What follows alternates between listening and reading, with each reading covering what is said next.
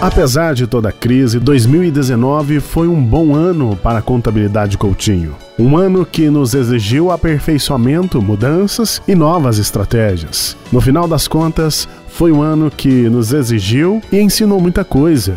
E por isso, só temos a agradecer. Foi um ano proveitoso também pelo reconhecimento da opinião pública ao nosso trabalho em que registramos um significativo aumento na procura de serviços. Enfim, aprendemos muito com a crise.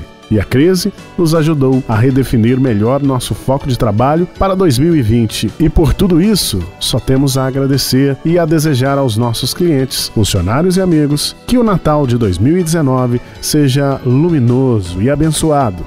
E que 2020 seja também um ano de progresso e aprendizado para os piuienses.